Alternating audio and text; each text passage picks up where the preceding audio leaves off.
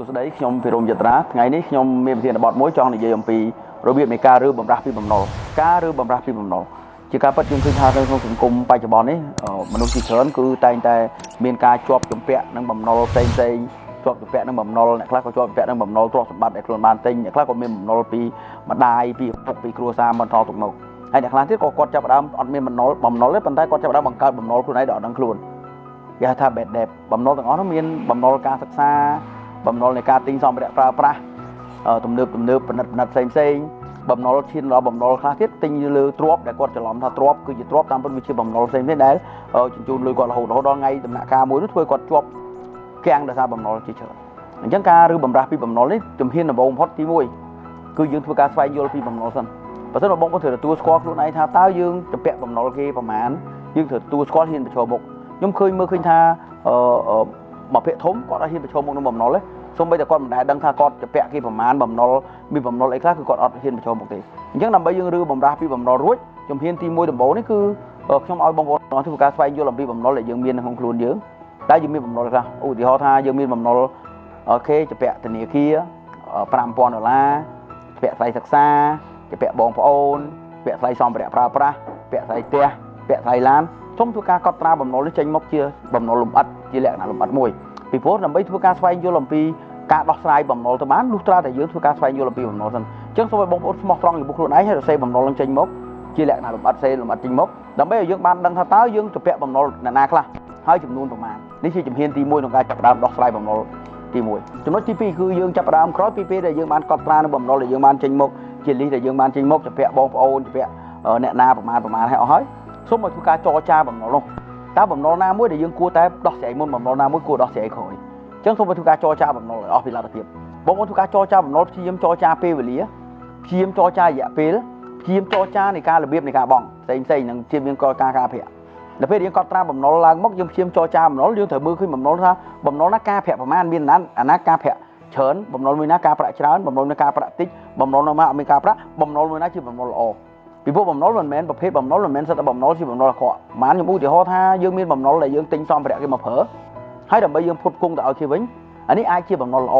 ពីព្រោះយើងយកគេមកយកបំណុលនឹងមកដើម្បីបង្កើតលុយប៉ុន្តែបើសិនយើងយកបំណុលមកដើម្បីបំពេញអារម្មណ៍បំពេញសេចក្តីត្រូវការរបស់យើងតែយើងអត់បានយកបង្កើតលុយវាដកលុយកប៉ៅយើងចេញទេជាបំណុលអាក្រក់អញ្ចឹងរាល់ការបំណុលដែលយើងកត់ត្រាជាមួយយើងនឹងធ្វើការស្វែងយល់អំពីបំណុលតើបំណុលមួយណាល្អបំណុលមួយណាអាក្រក់បំណុលមួយណាការប្រាក់ប្រមាណបំណុលមួយណាគួរសងរយៈពេលប៉ុន្មាន បន្ទាប់ពីពេលនោះហើយសូមឲ្យបងធ្វើការចរចាបំណុលនោះយើងអាចចរចាបំណុលតែបំណុលណាមួយយើងអាចជុំចរចាបន្ថយពេលវេលាឬក៏បន្ថយការប្រាក់ឬក៏យើងចរចារបៀបបង់ផ្សេងៗដើម្បីឲ្យបន្ធូរបន្ថយទៅតាមបន្សាំទៅតាមលក្ខណៈដែលយើងត្រូវការអញ្ចឹងការចរចាបំណុលគឺទាមទារចាំបាច់ដែលយើងត្រូវទៅជួបមួយម្ចាស់បំណុលហើយយើងចរចាយើងប្រាប់ពីលក្ខខណ្ឌកៈដែលយើងអាចទៅរួចយើងនឹងសុំធ្វើការចរចាកំណត់បំណុលអតិភិបក្រោយពេលដែលយើងបានដឹងហើយថាបំណុលដែលយើងជពាក់គេមានបំណុលមួយណាបំណុលណាការប្រាក់ប្រមាណកំណត់បំណុលហ្នឹងជាកំណត់អតិភិបដែលក្រោយពីយើងចរចារួចបំណុលណាគួរសងមុន ពីព្រោះយើងមិនអាចព្យាយាមសងបំណុលទាំងអស់ក្នុងពេលតែមួយវាធ្វើឲ្យស៊ីពេលយូរអញ្ចឹងយើងចរចាបំណុលដែលយើងមើលបំណុលដែលជាអតិភិបអញ្ចឹងសូមបងធ្វើការលំអិតមើលតើបំណុលណាដែលមានការប្រាក់តិចបំណុលណាការប្រាក់ច្រើនជាការពិតបំណុលដែលជាអតិភិបសម្រាប់ជាកំណត់របស់ខ្ញុំនោះគឺបំណុលណាដែលយើងយកលុយយើងច្រើនចំណាយការប្រាក់ច្រើនដែលធ្វើយើងចំណាយច្រើនទៅលើវាយើងត្រូវស្វែងយល់អំពីដំណាក់កាលនៃបំណុលនីមួយនីមួយតើបំណុលនីមួយនីមួយបំណុលមានជំហានណាខ្លះមានបំណុលណាខ្លះដែលជាបំណុលអតិភិបដែលយើងគួរទៅដោះស្រាយមុនអញ្ចឹងដល់ចំណុចទី4គឺ សងបំណុលណាដែលបុកផ្ដាច់បំណុលណាដែលចាំបាច់មុនមានន័យថាក្រោយពេលដែលយើងចាប់ផ្ដើមធ្វើការស្វែងយល់អំពីបំណុលយើងធ្វើការកំណត់បំណុលអតិភិបហើយធ្វើការសងផ្ដាច់ទៅលើបំណុលណាដែលជាបំណុលអតិភិបគឺយើងធ្វើការសងផ្ដាច់មុនមានន័យបំណុលដែលយកលុយយើងច្រើនបំណុលណាដែលមានបញ្ហាគឺយើងធ្វើការសងផ្ដាច់មុនឧទាហរណ៍ថាយើងចាប់ដើមចរចាបំណុលទាំងអស់ហ្នឹងមកហើយយើងមើលបំណុលណាគួរតែ ព្យាយាមចរចាបំណុល2 3បំណុលនោះយើងព្យាយាមពជាពេលវេលាឬក៏សុំគាត់3ខែទៀតបានយើងបង់អញ្ចឹងយើងព្យាយាមយកអត្ថការយើងមានបុកសងបំណុលតែតែមួយផ្នែកមុនសិនទេអញ្ចឹងក្រោយពេលដែលយើងចាប់ដើមបុកសងបំណុលមួយផ្នែកមួយសិនយើងសងបំណុលផ្នែកសិនអញ្ចឹងបំណុលដែលអតិភិបនោះគឺចាប់ដើមដាច់បំណុលទី1អញ្ចឹងនៅសម្រាប់យើងមានឧទាហរណ៍យើងមានបំណុល10អញ្ចឹងក្រោយពេលយើងសងបំណុលមួយសងបំណុល9អញ្ចឹងយើងបុកពីអា8យកទៅសងបំណុល9យើងបុកកាន់តែលឿនទៀតបំណុលកាន់តែធ្លាក់ចុះសល់7សល់6សល់5ផ្សេងផ្សេងហ្នឹងឯងបាទអញ្ចឹងបំណុលពេលដែលយើងចាប់ផ្ដើម បុកផ្ដាច់បំណុលយើងចាប់ផ្ដើមបុកផ្ដាច់បំណុលបំណុលនឹងធ្វើការធ្លាក់ចុះហើយចំនួនការប្រាក់ដែលយើងត្រូវបង់ចំនួនការចំណាយយើងគឺនឹងធ្វើការធ្លាក់ចុះទៅតាមហ្នឹងអូខេចូលដល់ចំណុចទី5គឺបង្កើតទម្លាប់ដដែលដដែលមានន័យថាយើងបង្កើតទម្លាប់នៃការសងបំណុលបង្កើតទម្លាប់ដដែលដដែលដដែលពីព្រោះមនុស្សជាច្រើនខ្ញុំមើលឃើញថាក្រោយពេលដែលគាត់បានបោះបំណុលសងបំណុលចង់ដាច់ហើយអារម្មណ៍ផ្ទុះឡើងមកចាប់ដើមចង់បង្កើតបំណុលទៀតណាក្រោយពេលដែលសងគេចង់អស់ហើយគាត់ទៅសងចិត្តអស់ចាប់ដើមមានអារម្មណ៍ចង់បង្កើតបំណុលថែមទៀតណា ចង់ទិញឡានចង់ទិញរបស់ល្អដែលមិនសូវជាចាំបាច់ពេលខ្លះឈានទៅដល់ការទិញរបស់ដែលខ្លួនមិនសូវជាត្រូវការដើម្បីអួតមនុស្សដែលខ្លួនមិនចូលចិត្តបាទឧទាហរណ៍ខ្ញុំឃើញខ្លះគាត់ចាប់ដើមទិញរបស់ដែលខ្លួនហ្នឹងមិនសូវជាត្រូវការប្រហែលនេះប៉ុន្តែដើម្បីអួតមនុស្សដែលខ្លួនអត់ចូលចិត្តនិយាយហ្នឹងខ្ញុំលុយនេះឯងធ្លាប់មើលងាយខ្ញុំឥឡូវខ្ញុំទិញរបស់ល្អហើយទៅពេលយើងជាប់បំណុលហ្នឹងជាប់បំណុលនឹងបន្តទៅមុខរហូតទៀតអញ្ចឹងធ្វើទម្លាប់មួយគឺរក្សាវិន័យរក្សាវិន័យដែលយើងទម្លាប់សងគេរក្សាវិន័យក្នុងការចាយវាអញ្ចឹងនៅពេលដែលបងប្អូនធ្វើតាមចំណុចទាំង5នេះហើយគឺចាប់ផ្ដើមបំណុលយើងចាប់ផ្ដើមថយថយទៅរហូតដល់ស្មើសូន្យ ដល់ពេលដែលបំណុលស្មើសូន្យអញ្ចឹងយើងចាប់ផ្ដើមពីចំណុចសូន្យដើម្បីខ្លាយជាអ្នកមានតើយើងនឹងចាប់ផ្ដើមរបៀបម៉េចបន្តទៀតខ្ញុំជឿជាក់ថាក្រោយពេលដែលបងប្អូនធ្វើតាម5ចំណុចនេះហើយយើងនឹងចាប់ផ្ដើមដល់ស្ថិតក្នុង zero debt មានអត់មានបំណុលអញ្ចឹងដល់ពេលដែលយើងក្នុងចំណុចសូន្យតើយើងត្រូវ move ទៅរកកម្រិតចំណុចសេរីភាពរ៉ាញ់ធុតើយើងនឹងបន្តសកម្មភាព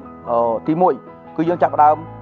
វិភាគទៅលើការសន្សំមុនចំណាយព្រោះវាបងប្អូនមានចំណូលមកពីប្រាក់ពីប្រាក់បៀវត្សឬក៏ចំណូលពីការលក់ដូរឬក៏ចំណូលពីអាជីវកម្ម ឬក៏ចំណូលផ្សេងផ្សេងមកនោះគឺធ្វើការសន្សំមុនចំណាយកន្លែងចំណុចនេះខ្ញុំចង់បញ្ជាក់ផងដែរថាមនុស្សជាច្រើនសន្សំចាយឲ្យបានសន្សំ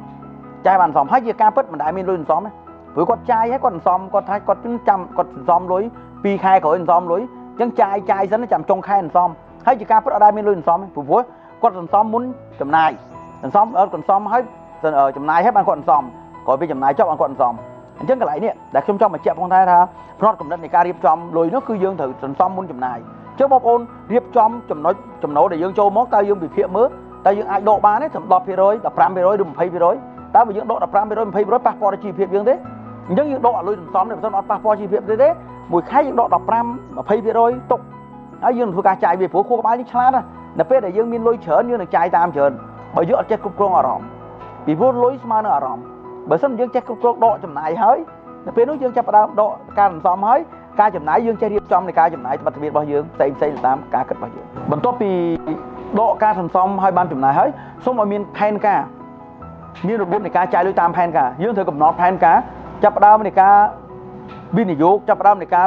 ចាយវាប្រចាំថ្ងៃយើងមានផែនការឧទាហរណ៍យើងកំណត់ផែនការថាអូខេខ្ញុំមួយថ្ងៃមួយខែខ្ញុំចាយ300ដុល្លារ200ដុល្លារ100ដុល្លារផ្សេងផ្សេងអញ្ចឹងមួយថ្ងៃតើយើងគួរចាយប្រមាណអញ្ចឹងមានផែនការនៃការចំណាយពីព្រោះផែនការនៃការចំណាយគឺជា guideline គឺជា map គឺជាផែនទីបង្ហាញផ្លូវយើងមួយជៀសវាងឲ្យយើងដើរផ្លូវខុសពីព្រោះយើងអត់បានមានផែនការចំណាយថ្ងៃនេះយើងអាចចាយច្រើនស្អែកឡើងអារម្មណ៍មិត្តភ័ក្តិហៅជប់លៀងមានកម្មវិធីយកមានខ្ទង់មានតែចំណាយខុសខ្ទង់ប៉ុន្តែបើយើងរៀបចំខ្ទង់យើងដឹងថាអូខ្ទង់ដើម្បីទិញសម្ភារៈប្រើប្រាស់ខ្ទង់ដើម្បីទិញកៅអៅយើងគួរចាយខ្ទង់ដើម្បីជប់លៀងដើម្បីកម្មវិធីសបាយរីករាយគួរចាយប្រមាណអញ្ចឹងយើងខ្ទង់ដើម្បីវិនិយោគយើងមានខ្ទង់ប្រមាណអញ្ចឹងកន្លែងនេះខ្ញុំចង់ឲ្យបងប្អូនផ្ដោតទៅលើផែនការនៃការចំណាយយើងមានផែនការនៃការចំណាយទុកបុណ្យពេលដែលយើងចាប់ផ្ដើមមានផែនការនៃការចំណាយហើយខ្ញុំជឿថាបងប្អូនដែលបានសន្សំប្រចាំខែទម្លាប់នៃការសន្សំនេះនឹងចាប់ផ្ដើមឲ្យយើងមានលុយមួយចំនួននៅក្នុងកុងធនាគារឬក៏នៅក្នុងខ្លួនរបស់យើងអញ្ចឹងមានទម្លាប់មួយគឺប្រើលុយជាគ្រាប់ពូជនៅលុយដែលយើងសន្សំបាននេះសូមធ្វើយកទៅធ្វើការវិនិយោគវិនិយោគទាំងឡាយដែរដែលអាចផលិតលុយមកយើងបានគឺចាប់ទុកថាលុយគឺជាគ្រាប់ពូជបងប្អូនសម័យមើលថាយើងមានពូជពូជស្រូវមួយ ដែលយើងអាចដាក់ចូលទៅក្នុងដីហើយឲ្យវាដុះកាន់តែច្រើនអញ្ចឹងលុយនេះបើសិនបើយើងដកយកមកប្រើចំណេញចាំដកឃើញកន្លែងមនុស្សជាច្រើនគឺចាប់ផ្ដើមសំលុយបានច្រើនបានកើតអារម្មណ៍កើតឡើងមកទិញបំណុលតទៀតណាយកលុយទៅទិញចំណាយខុសអញ្ចឹងលុយនេះគឺដាក់វិន័យខ្លួនឯងគឺជាលុយគ្រាប់ពូជដើម្បីបន្តគ្រាប់ពូជអញ្ចឹងមានទម្លាប់មកយកលុយបង្កើតលុយឲ្យដកចេញមកគឺលុយត្រូវតែមានចំណូលចូលមកបន្ថែមទៀតលុយទម្លាប់បង្កើតលុយអញ្ចឹងមានទម្លាប់នៃការបង្កើតលុយមានទម្លាប់ការបង្កើតលុយហើយកំណត់គោលដៅរ៉ាញ់ធុ ខ្ញុំជឿថាក្រោយពេលដែលយើងមានទម្លាប់ទាំងអស់នេះក្នុងខ្លួនហើយយើងក៏កាន់តែធូរស្រាលយើងអាចបន្តទៅឈានទៅរកគោលដៅរ៉ាញ់ធុដែលយើងចង់បានខ្ញុំបាទព្រំចត្រាសូមអរគុណដល់លោកលោកស្រីដែលកំពុងតែទស្សនានៅវីដេអូរបស់ខ្ញុំបាទហើយសូមជួបគ្នានៅវីដេអូក្រោយទៀតសូមអរគុណ